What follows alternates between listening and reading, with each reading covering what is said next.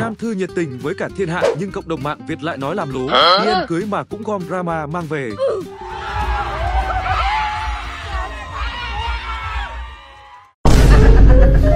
Rồi rồi, mày xong rồi Ủa ai vậy?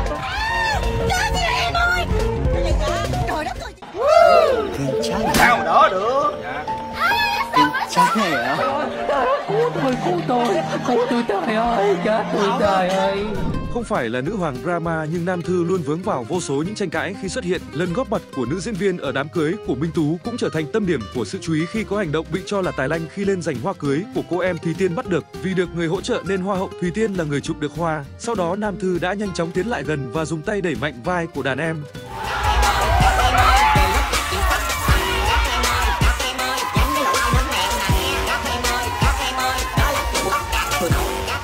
Trước hành động bất thình lình của Nam Thư, Hoa hậu Thùy Tiên lộ rõ biểu cảm hốt hoảng. Đến lần thứ hai khi Minh Tú tiếp tục tung hoa cưới pha ke là cả chậu cây thì Nam Thư nhanh chóng tiến đến xếp hàng đầu tiên. Khi Huỳnh Lập bắt được thì Nam Thư vừa quát lớn vừa có hành động ôm làm nam diễn viên ngã xuống sàn. Cảnh vật lộn của Huỳnh Lập và Nam Thư khiến sân khấu lễ cưới trở nên xáo trộn. Dẫu chỉ là dẫn chơi nhưng ai đấy cũng thấy không vừa ý với hành động này của nữ diễn viên. Thậm chí có người còn cho rằng, tiệc đang vui làm ơn Nam Thư đừng góp mặt. Tuy bình luận này có phần nặng lời nhưng phần đông khán giả lại đồng tình với nhận định này. Tàn tiệc nữ diễn viên còn ra về với diện mạo không thể bét hơn. Ai thì vui nhưng riêng Nam Thư thì lại bị cho là hơi ố dề.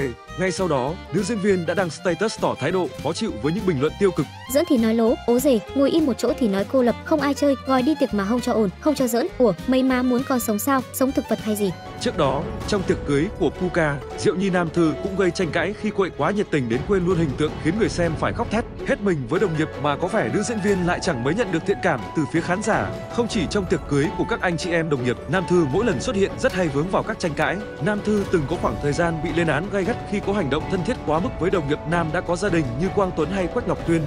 Thiên hạ này có một nữ nhân như vậy sao? Wow! Wow! So với Cao Quý Phi năm đó thì sao? Nam Thư nhận nhiều chỉ trích sau khi đăng hình ảnh bị cho là trên mức đồng nghiệp với diễn viên Quang Tuấn. Dù đã xóa bài đăng nhưng hành động của Nam Thư vẫn bị chê bai và khiến cô mất đi một số lượng khán giả không nhỏ. Ở thời điểm đó, nữ nghệ sĩ quyết định giữ im lặng khi xuất hiện trong một top show. Nam Thư đã thẳng thắn nhắc đến ồn ào ấy. Cô gửi lời xin lỗi đến khán giả. Trong thư có nam nên mới gọi là Nam Thư.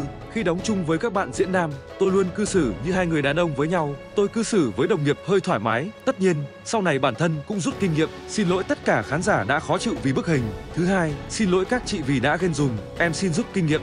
Một số người còn cho rằng Nam Thư bị ghét là do thực lực chứ không phải ai cũng có cái siêu năng lực làm gì cũng bị soi mói, cũng vướng vào drama như người đẹp cả. Bạn có cảm nhận thế nào về nhận định này? Chia sẻ với Gian nhé. Nhớ bấm nút theo dõi kênh nhé